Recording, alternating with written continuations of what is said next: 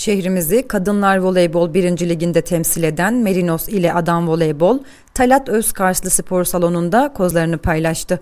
Ligin ilk hafta mücadelesinde karşı karşıya gelen iki ekibin saha performansı karşılaşmayı izleyenlerin adeta nefesini keserken maçın kazananı ise 3-0'lık skorla Adam Voleybol oldu.